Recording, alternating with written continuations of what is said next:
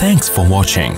Don't forget to like, comment, share and subscribe to अज़ीज़ दोस्तों हज़रत सिद्दीक़ अकबर रज़ी अल्लाह तहो वो साथी हैं नबी अकरम सल्लल्लाहु के कि जिन्होंने उस वक्त हजूर अलैहिस्सलाम का साथ दिया जब आपका साथ देने वाला कोई नहीं था कोई ऐसा शख्स नहीं था कि जिसकी आवाज़ अहले मक्का सुने और आप की तरफ़ मुतवजह हूँ। आप सुनते रहते हैं कि हजूर सल्लल्लाहु अलैहि वसल्लम पर ईमान लाने वाले पहले लोग कौन हैं? बाज़ के नज़दीक हज़रत अली मुर्तज़ा हैं, बाज़ के नज़दीक हज़रत जैद हैं, हजूर के ग़ुलाम, बाज़ के नज़दीक हज़रत खदीजतुल्कुबरा हैं, हजूर सल्लल्लाहु अलैहि वसल्लम की जोजा मोहतरमा, आप अगर इनमें से किसी को भी ले लें तो आप सोचें, खुद सोचें कि जब हजूर सलाम ने ऐलान नबूत फरमाया और हज़रत खजतुल्कुबरा ने आपकी जोजा मोहतरमा ने ईमान कबूल किया, लोगों ने इस पर कुछ तवज्जो नहीं दी कि ठीक है, अगर एक शौहर दावा करता है और उसकी बीवी उसको मान लेती है तो ये घर की बात है। ये चीज़ लोगों के लिए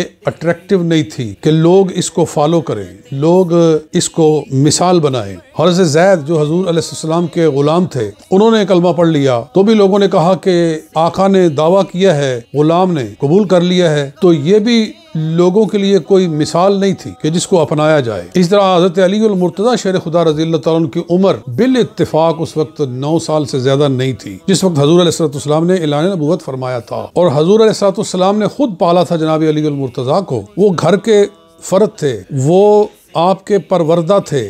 बेटे थे, मिसल बेटे के थे। तो अगर एक घर का सरबरा किसी चीज़ का दावा करता है और उसकी गोद में पला हुआ बच्चा उसकी तस्दीक कर देता है तो ये भी लोगों के लिए एक ऐसी चीज़ नहीं थी कि जिसको मिसाल बनाकर लोग उसके पीछे चले। मगर सईदना सिद्दीक अकबर रज़ी अल्लाह वो पहली हस्ती हैं कि जिनकी बात में एक वज़न था, एक उसके अंदर कुत थी एक ऐसा शख्स जो मक्का मुकरमा के अंदर एक अदालत वाला और एक ऐसा शख्स के जो फैसले करने, जो फैसल है, जो पंचायती है, लोग अपनी दीयतों के मसाइल में, लोग अपने खून बहा के मसाइल में, अपनी लड़ाइयों में जनाब हज़रत सिद्दीक अकबर से फैसले करवाते हैं।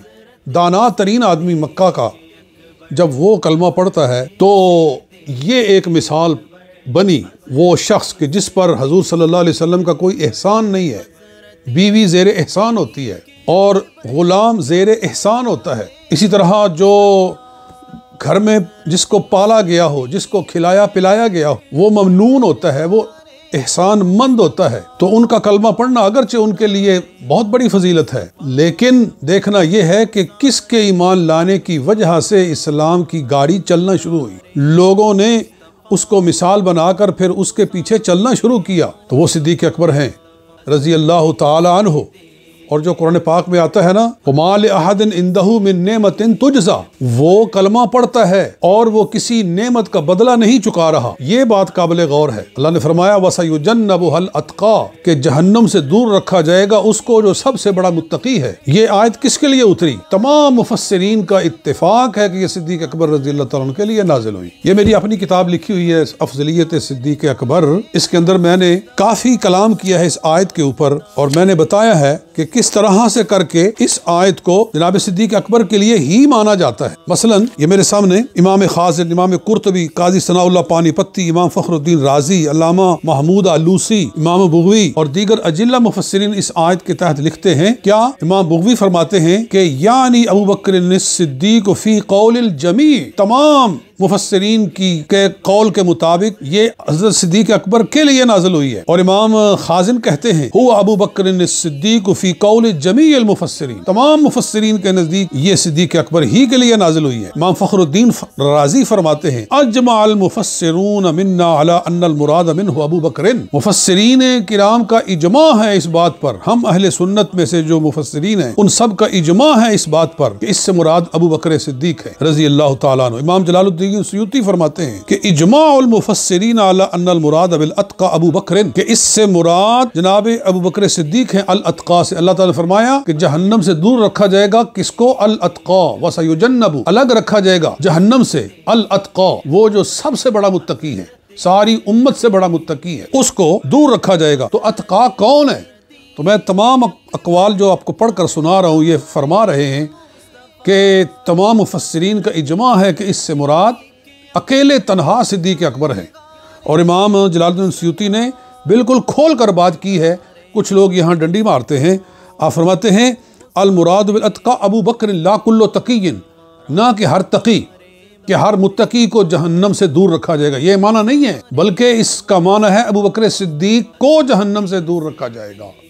ये उनके लिए नाजुली जब उन्होंने हज़रत बिलाल हबशी रज़ी अल्लाह तु को उमैया बिन खल्फ से खरीद कर आज़ाद किया तो अल्लाह रब्बुल इज़्ज़त ने उनकी फजीलत में ये पूरी सूरत नाजिल फरमाई। इज़ा तजल्ला खलक ज़कर वल उनसा अल्लाह ने कस्में उठाई पहले, रात की, दिन की, और इसी तरह जो इंसान और जो मर्द और औरत पैदा किए गए हैं, अल्लाह ने अपनी कुदरतों की पहले कस्में याद फरमाई।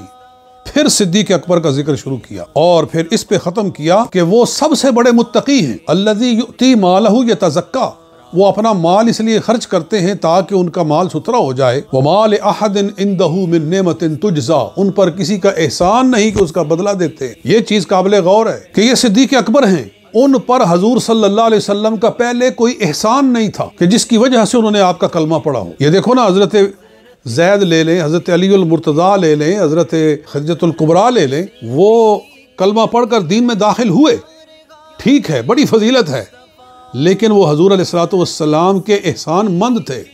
हजूर सलाम उन पर माल खर्च करते थे। तो जिस पर माल खर्च किया जाए, वो ममनून होता है। इसलिए सिद्दीक अकबर रज़ी अल्लाह तहो हैं कि जिन्होंने किसी एहसान के बगैर सिर्फ़ अल्लाह की रज़ा के लिए कलमा पढ़ा। इसलिए आगे अल्लाह ने निशाद फरमाया लब तवज रब आला। वो सिर्फ़ रब आला की रज़ा के लिए दीन में दाखिल हुए और दीन में उन्होंने फिर माल खर्च करना शुरू किया। दीन में सबसे पहले माल खर्च करने वाले सिद्दीक अकबर हैं। दीन में अपना ईमान ज़ाहिर करने वाले सिद्दीक अकबर हैं सबसे पहले, और माल भी सबसे पहले वो खर्च करते हैं। वो गुलाम कि जिनको मारा जाता था इसलिए कि वो कलमा पढ़कर दाखिल हुए थे इस्लाम के हज़रत बिलाल हबशी रज़ी अल्लाह तहो हज़रत मारबिन यासिर रज़ी अल्लाह तहो अगरचे ग़ुलाम नहीं थे, लेकिन उनको मारा जाता था, उनकी मदद की गई। इसी तरह हज़रत आमिर बिन फ़ुहायरा ग़ुलाम थे, उनको ख़रीद कर आज़ाद किया। अलगरज मुतद ग़ुलामों और बांदियों को जो मार खा रहे थे, इसलिए कि वो कलमा पढ़ चुके थे। तो जनाब सिद्दीक अकबर अपने माल से उनको ख़रीद कर आज़ाद करते थे। अल्लाह ने इस चीज़ पर उनका, उनकी तारीफ़ फरमाई कि वो माल खर, और फिर एक और जगह रब ताला उनकी इसी फजीलत को कुरान में यूँ इरशाद फरमाता है। फरमाया, ला यस्तवी मिन को मन अनफ़ मिन कबल फ़तह, वक़ातल उलाइक आज़म दरजत मिन अल्लदीन अनफ़ बाद, वक़ातलू वकुल्लाहसना कि जो फतेह मक्का से पहले ईमान लाए और उन्होंने माल खर्च किया, वो बाद वालों के बराबर नहीं है। पहले वाले अफजल हैं, बाद वाले मफजूल हैं। तो इसमें इमाम कुतबी रहमत बड़ी खूबसूरत गुफ्तु फरमाते हैं कि इसका मतलब ये है, पहले वालों की फजीलत बाद वालों पर इसलिए है कि फ़तेह मक्का के बाद इस्लाम लाना और माल खर्च करना आसान हो गया था, पहले मुश्किल था। और पीछे पीछे चलते जाओ तो जब शुरू हुआ था इस्लाम उस वक्त इस्लाम का नाम लेना और इस्लाम के लिए माल खर्च करना सबसे मुश्किल था। तो उस वक्त सिद्दीक अकबर ईमान लाए और माल खर्च किया तो अगर सबकियत फिल इस्लाम और सबकियत फिल इन्फाक वजह फजीलत है तो फिर जो असबकुल ईमान है, जो असबकुल उम्मत फिल ईमान है, जो असबकुल उम्मत फिल इन्फाक है, फिर उसका दर्जा सबसे अफजल है। यानी कुरान पाक की सनत से सरी के मुताबिक। और इसको खुद रसूलुल्लाह सल्लल्लाहु अलैहि वसल्लम इसका बहुत रिगार्ड करते थे। जनाब सिद्दीक अकबर की इस हैसियत को कि उस वक्त उन्होंने नबी अकरम सल्लल्लाहु अलैहि वसल्लम का साथ दिया, जब कोई साथ देने वाला नहीं था, पूरा मक्का जुठला रहा था, उस वक्त तनहा सिद्दीक अकबर की आवाज़ मक्का में बुलंद होती थी आपकी तस्दीक के में तस्दीक के लिए तो इसलिए उनका दर्जा सबसे बुलंद हुआ। उनका ईमान सबसे बुलंद है, सबसे अफजल है और ईमान ही सबसे बड़ी वजह फजीलत है। और उनका ईमान सारी उम्मत से भारी है, इसलिए कि उम्मत अगर दीन में दाखिल हुई, बाद में अशरफ मुबशरा दीन में दाखिल हुए, फिर बाद में महाजरीन दीन में दाखिल हुए तो मुझे बताओ कि किसके ईमान से मुतासर होकर लोग दीन में दाखिल होना शुरू हुए? वो सिद्दीक अकबर हैं सबसे पहले। इसीलिए जनाब उम्र फारूक रज़ी अल्लाह इर्शाद फरमाया करते थे। इमाम सयूती ने तारीखुलखलफा में लिखा है और मैंने भी अपनी इस किताब में इसको दर्ज किया है। हज़रत फारूक आज़म फरमाते थे कि, लो वोजिना ईमान अबी बकर ईमानी जमील उम्मती लरजहा ईमान अबी बकर जनाब सिद्दीक के ईमान को पूरी उम्मत के ईमान के साथ तोला जाए तो सिद्दीक अकबर का ईमान पूरी उम्मत के ईमान से आला हो जाएगा, भारी हो जाएगा। क्योंकि उनका ईमान ही सारी उम्मत के ईमान का सबब बना है। और इस पर मैं एक हदीस भी ये मेरे सामने आई गई है बुखारी शरीफ में से। हज़रत सिद्दीक अकबर और हज़रत उमर फ़ारूक के दरमियान में कोई थोड़ी सी आपस में बात हुई, कोई तकरार हुआ तो जनाब सिद्दीक अकबर परेशान हुए और फिर बाद में हज़रत उमर को भी एहसास हुआ और वो मनाने के लिए उनके घर में गए। पता चला कि वो तो वहाँ से हजूर सलाम के पास चले गए हैं। तो नबी अकरम सल्लल्लाहु अलैहि वसल्लम के जब पास आए तो पहले वहाँ अबू बकर मौजूद थे। तो वो कह रहे थे कि अबू बकर आए और हजूर सल्लल्लाहु अलैहि ने उनको दूर से देख कर कहा कि इन्ना साहिब अकम का दगाम आज तुम्हारे साथी का चेहरा बदला हुआ है। यानी हज़रत सिद्दीक अकबर आए तो उनके चेहरे पर कुछ तफक्र और कुछ परेशानी के आसार थे। हजूर अलैहिस्सलाम के साथ चूँकि ज़िंदगी गुजारी थी, इसलिए आप उनकी, उनके चेहरे की कैफियत को पहचानते थे कि अबू बकर खुश किस वक्त होता है, अबू बकर नाराज़ किस वक्त होता है। तो उनका चेहरा देख कर कहने लगे, तुम्हारा साथी आज परेशान है। आए सलाम कहा कहा, या रसुल्ला मेरे और इबन खत्ताब के दरमियान कोई बात हुई थी? तो मैंने उन पर आवाज़ ऊँची कर दी। फिर मैं मुझे नदामत आई। फिर मैंने उनसे कहा, उमर से, मुझे माफ़ कर दो।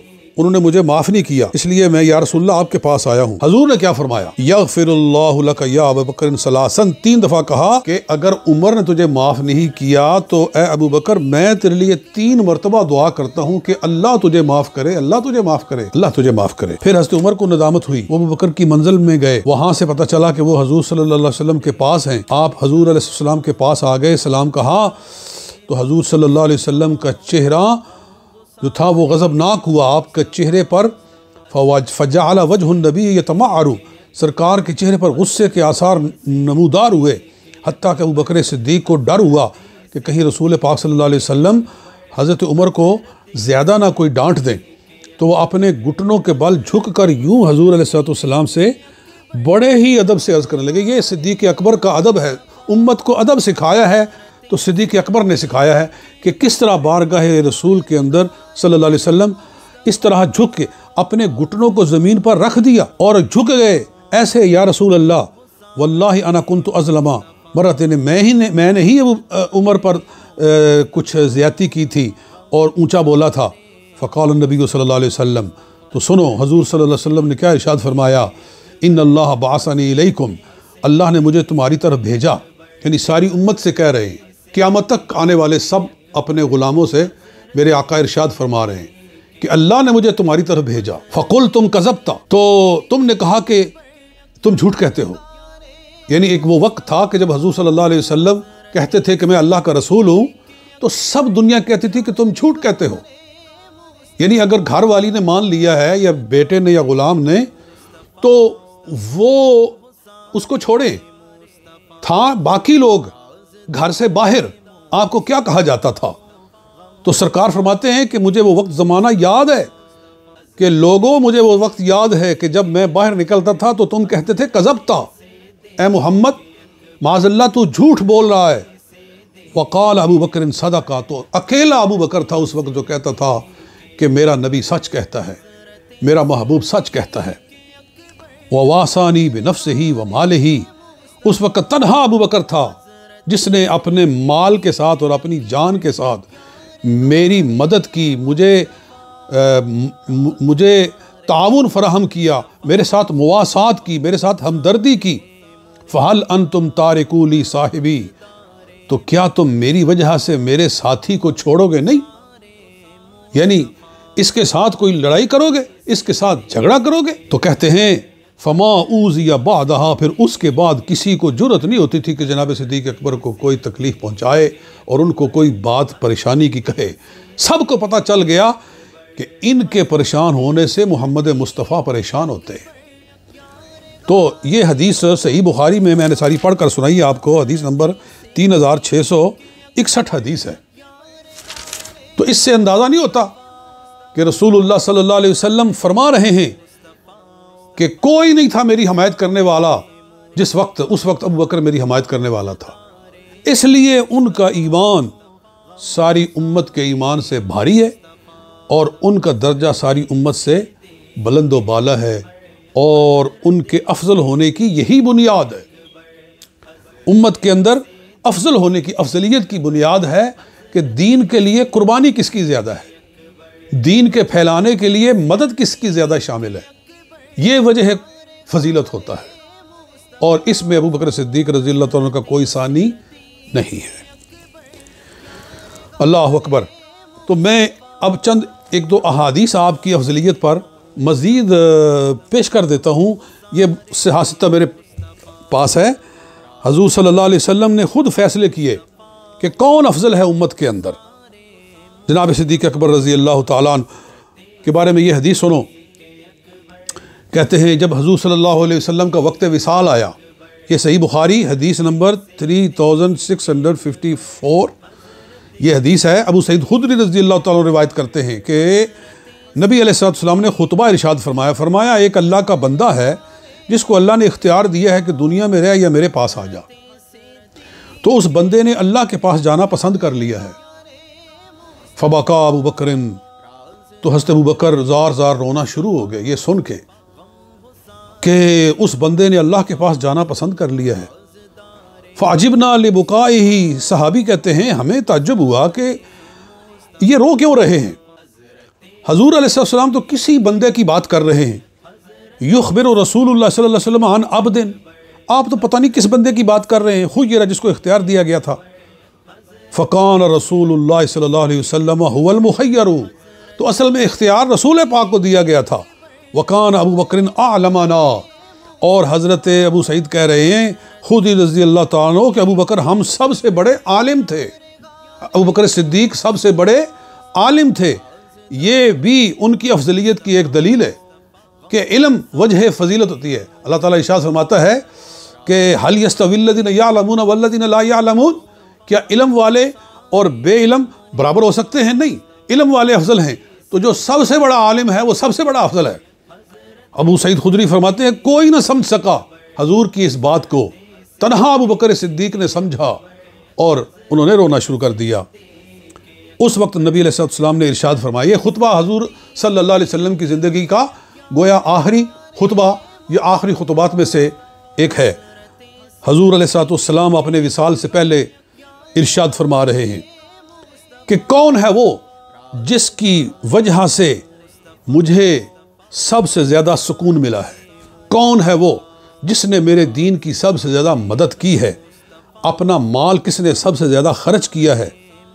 तो सुनिए, ये फैसला नबी रसूल पाक सल्लल्लाहु अलैहि वसल्लम सरे मिंबर तमाम सहाबा कराम की मौजूदगी में इरशाद फरमा रहे हैं। फरमाया इन अमन से अलीफ़ी सहबत ही व माल ही अबू बकरन।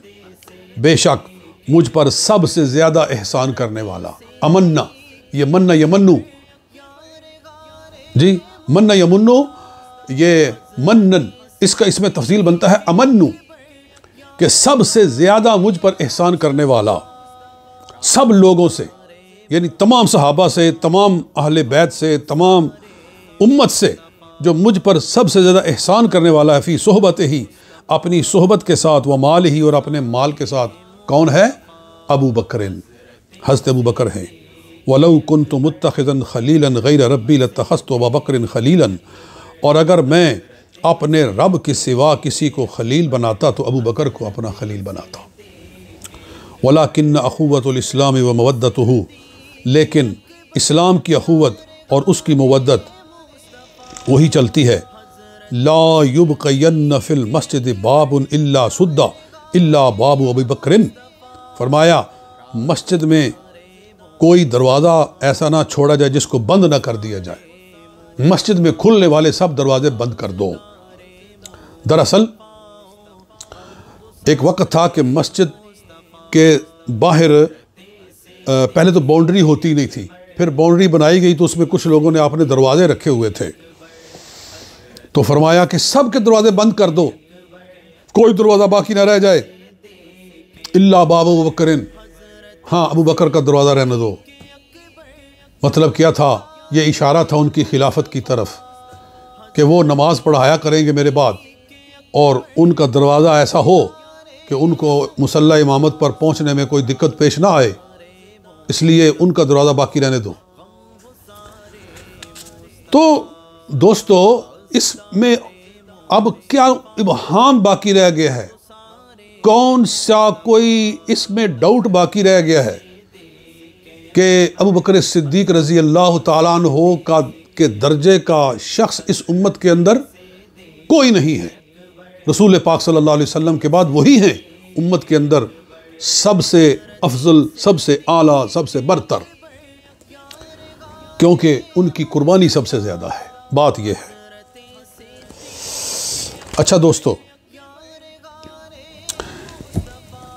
बड़ी बातें हैं कहने की, और बड़ा तवील मौजू है, और मैं थोड़े से वक्त में क्या अर्ज़ कर सकता हूँ। एक हदीस और सुन लें, कि हज़रत अमर बिन आस रज़ी अल्लाह तु कहते हैं कि नबी अकरम अलैहि वसल्लम ने मुझे गजवा ज़ातुसलासिल सरी ज़ातुसलासिल में मुझे अमीर बना कर भेजा। तो मेरे जहन में ख्याल आया कि शायद मैं अब सबसे बड़ा हूँ। तो फ़कुल तो अयुन्ना से अहब का या रसूल अल्लाह ये हदीस सही बुखारी में भी है। इधर इसका नंबर अगर आप पूछें तो तीन हज़ार छः सौ बासठ है ये बुखारी के अंदर। और मुस्लिम के अंदर इसका नंबर है छः हज़ार एक सौ सतहत्तर। कहते हैं हँसते अमरबिलास कि मैंने पूछा अयुन्ना से हब्बोले का या रसूल अल्लाह तमाम लोगों में से आपको, यानी अपनी उम्मत में से, अपने तमाम साथियों में से आपको सबसे ज़्यादा महबूब कौन है? फरमाया कि आयशा। तो आयशा कुल तो मिनर रिजाल। अर्ज़ किया कि मैंने मर्दों के बारे में पूछा है। फरमाया, अबूहा। हज़रत अबू बकर सिद्दीक, आयशा सिद्दीक़ा के बाप। वो मुझे उम्मत में सबसे महबूब है, मर्दों में से। तो मैंने कहा सुमा मन, फिर कौन है? फरमाया, उमर उमर। फ़ाद रिजालन, आपने उसके बाद भी कई नाम लिए, कई लोगों के नाम गिनवाए। तो सबसे बढ़कर जिसको आपने महबूब करार दिया, वो हज़रत अबू बकर रज़ी अल्लाह हो और ख़वातीन में से जो कहा वो हज़रत आयशा सिद्दीक़ा रज़ी अल्लाह तो वो भी हज़रत सिद्दीक अकबर की वजह से यानी उनकी जो महबूबियत है, वो सिद्दीक अकबर की वजह से है। जो बुनियाद है महबूबियत की, वो सिद्दीक अकबर हैं रज़ी अल्लाह तु हाँ तो एक हदीस चलते चलते मज़ीद सुन लें। और इस हदीस को बड़ा गौर से सुने। यानी समझ में नहीं आती कि ये ये मसला इतना वाज था हज़रत सिद्दीक अकबर रज़ी अल्लाह की अफजलियत का, फिर लोग इसमें डावाडोल क्यों हो रहे हैं? तो रसूल पाक की ज़बान से फ़ैसले हो चुके हैं। ये मेरे पास सुन बुदाऊद है। इसकी हदीस नंबर चार हज़ार छः सौ बावन है। अबू हुररा रावी हैं। रसूलुल्लाह सल्लल्लाहु अलैहि वसल्लम ने फरमाया, अतानी जबरील सलाम मेरे पास जबरील सलाम आए फ़ाहदा बेदी उन्होंने मेरा हाथ पकड़ा। फ़रानी बाबल जन्नतिल्लती, जन्नतिल्लजी तदखलफ़ी मिन हो उम्मती। उन्होंने मुझे वो दरवाज़ा दिखाया जिसमें से मेरी उम्मत जन्नत में दाखिल होगी। फ़काल बकर या रसूल अल्लाह वदित तो अन्नी कन तो माँ का हत्ता अनजुरा ही काश के मैं आपके साथ होता। अबू बकर अर्ज़ करते हैं, या रसूल्ला काश मैं आपके साथ होता तो मैं भी वो दरवाज़ा देखता, जिस दरवाज़े से आपकी उम्मत जन्नत में दाखिल होगी। तो सुनिए, आका सल्लल्लाहु अलैहि वसल्लम ने क्या खूब इरशाद फरमाया। फ़काल रसूलुल्लाह सल्लल्लाहु अलैहि वसल्लम, आका करीम सल्लल्लाहु अलैहि वसल्लम ने इरशाद फरमाया, अम्मा इन या अबा बकरिन, अव्वल मैं यदखुल जन्नत मिन उम्मती, कि अबू बकर, मेरी उम्मत में से सबसे पहले जन्नत में दाखिल होने वाला तू है। मेरी उम्मत में सबसे पहले जन्नत में दाखिल होने वाला तू है। अच्छा यहाँ से जनाब सिद्दीक अकबर की पूरी उम्मत पर अफजलियत मालूम होती है। वो इसलिए कि इसके साथ दूसरी हदीस लगाओ जो बुखारी और मुस्लिम की मुतफ़न हदीस है। फरमाया, नहनुल आखिरून साबिकून योमल क़ियामती। हम जो उम्मत आखरीन ये जो, ये उम्मत है, मेरी उम्मत हजूर फरमा रहे हैं अलैहि वसल्लम। अल आखिरून, हम सबसे आखिर में आने वाले हैं। असाबिकून योमल क़ियामती। जन्नत में दाखिल होने में सब पर हम सबकत ले जाने वाले हैं। हम जन्नत में सबसे पहले दाखिल होंगे। यानी उम्मत मोहम्मदिया जन्नत में सबसे पहले दाखिल होगी। मेरे दोस्तों, क्यों दाखिल होगी? इसलिए कि ये उम्मत सारी उम्मतों से अफजल है। उम्मत मोहम्मदिया इसलिए सबसे पहले, सारी उम्मतों से पहले जन्नत में दाखिल होगी कि ये उम्मत सारी उम्मतों से अफजल है। अल्लाह फरमाता कुन तुम खैर उम्मत नखरजतनास तुम्हें तमाम उम्मतों से अफजल बनाया गया है। जब उम्मत सबसे अफजल थी तो वो जन्नत में सबसे पहले गई तो फिर जो सारी उम्मत में से सबसे पहले जन्नत में जाएगा, फिर वो सारी उम्मत से अफजल है कि नहीं है? अगर ये बात किसी के जहन में आ जाए, ये नुकता तो उसके दिल में फिर कोई शक बाकी नहीं रहना चाहिए। लेकिन वो कहते हैं ना बयाम नुकता तोहीद, आ तो सकता है, तेरे ज़मीर में बुत खाना हो तो क्या कहिए? तो और फिर हजूर सल्ला वसल्लम का, जनाब सिद्दीक अकबर को अपने मुसल्ला पे खड़ा करना।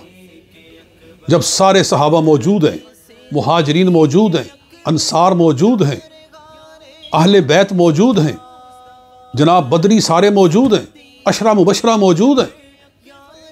तो उस वक्त नबी अकरम सल्लल्लाहु अलैहि वसल्लम ने अपने मुसल्ले पर इमामत के लिए किसको मुकर किया था? किसी को शक है इसके अंदर कि वो बकर सिद्दीक थे रज़ी अल्लाह तन हो अल्लाह अल्लाह, बल्कि एक हदीस यहाँ ये भी मौजूद है कि एक मौका ऐसा आया कि